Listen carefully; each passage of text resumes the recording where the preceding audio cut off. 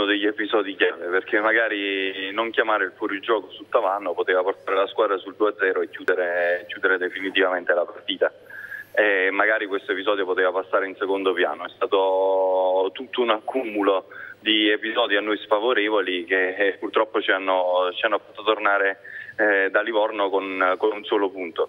L'amarezza è evidente perché la classifica parla chiaro, quindi i numeri, il calcio purtroppo è fatto, per fortuna è fatto, è fatto naturalmente di numeri. Eh, sta di fatto che noi su sei partite abbiamo avuto una marea di episodi sfavorevoli. Ci sarebbero bastati due punti oggi e due punti fatti col Novara su un gol regolare, eravamo quattro punti, eravamo in più, eravamo a nove punti quindi eh, stiamo parlando di tutt'altra classifica, eh, senza aggiungere poi tutti gli altri nelle altre, nelle altre partite, perché ogni partita eh, è stata condizionata alla fine da un episodio a noi sfavorevole.